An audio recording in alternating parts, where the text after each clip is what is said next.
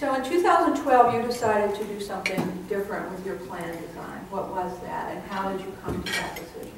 Well, we're firm believers in that the market will drive, and, and our employees should have the right uh, to shop for health insurance the same way they shop for anything else and, and, and those type of services. So we implemented uh, the tier system, and so we were able to hold the employees' premiums level, and we pay about 70% of the cost. Employee pays approximately 30. And if they were in a tier one, which is the least expensive, or maybe least expensive isn't the right terminology, but a lower cost, alleged lower cost, then um, they would forego the thousand dollar deductible, and if they participated in the wellness program, they did not have an increase. Those that don't, do not participate in the wellness program pay about 10% more for their premiums.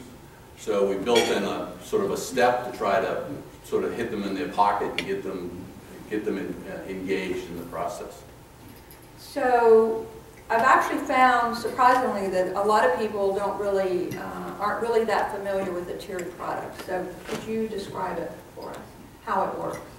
Um, What it means for choice and what it means for the employee? Well, um, we- we- as everybody heard earlier, we're with Tufts, and the tiered product is within their networks, which is somewhere in the 98, 99 percentile for all our employees. So a person can go any place. Uh, The Boston teaching hospitals tend to be a tier three, and if you choose to seek um, treatments there, you will pay for the first $2,000.